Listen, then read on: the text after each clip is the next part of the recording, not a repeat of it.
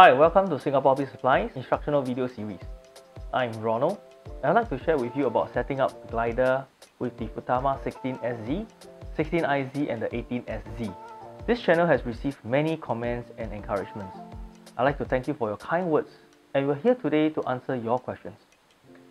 In this video, we're going to reply to Robert and this is his question. How do we set up battery telemetry alarm on transmitter? Robert, this episode is to answer this question and I'm sure many of you also have this similar question. This is how we do it. Our setup today is with the 16IZ and the R7108 receiver. In the linkage menu, we will find the telemetry and we will see the under receiver, we have the battery and the external battery. Now external battery is actually connected to the 7108 receiver through the micro con connector at the end of the receiver. For today's demonstration, we will only be focusing on the voltage that goes to the receiver. The setup is exactly the same. Okay, so we get into the receiver and we will see the battery currently and external battery. So going into the battery setup, we tap this voltage. Alright, and you will see the selection available. Now, we turn on the power supply and currently it is at 6.4. The transmitter will also show 6.4. The number here is the minimum voltage that it has experienced on the receiver so we can erase it by tapping it.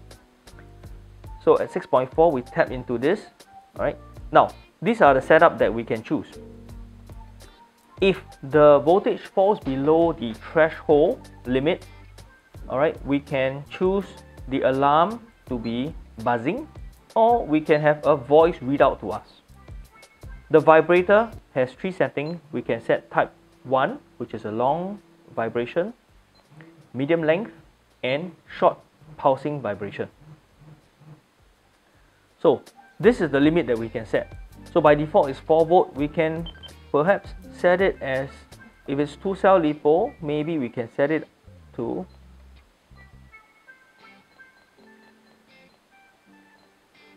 Six point six. Okay. Warning. Battery six Ah. point four volt. Warning. Battery six point four volt. So current voltage is 7.1. As you heard earlier, the vibration began because it has fallen below 6.6 that we set up. So I shall demonstrate once more when I reduce the voltage from 7.1 to below 6.6.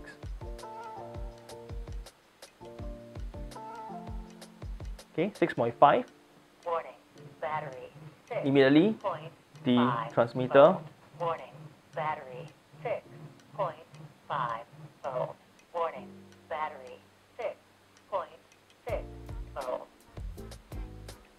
So when it falls below 6.6, the readout and the vibration will come. So this is how we set up the battery telemetry alarm. Last but not least, I'd like to also explain about the speech option. By default, speech option is off. The reason why it is here and I think it is sometimes important is because when we fly our models, we're looking at the model in the sky. So there are times where we wish to know what is the voltage on the battery right now. It also tells us how much time we have as we fly or how many more power bursts we can have on the battery. So this is where we go in and if I would like to choose a switch that I don't normally use which is switch B, I can assign it to switch B and I set the speech on in the second and third position. Okay, so once I've done that, you will see current voltage is 7. If I bring the switch B down to second of position, Battery seven point zero volt. Seven point zero. it reads out what that voltage is.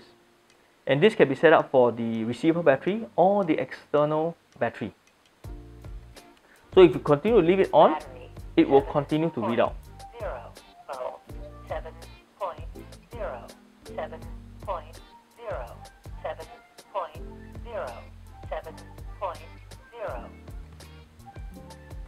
We hope this session was helpful to you. Please like and share our videos if you enjoyed this session. For more upcoming helpful videos, do subscribe to our channel and keep your comments coming. Thank you for watching.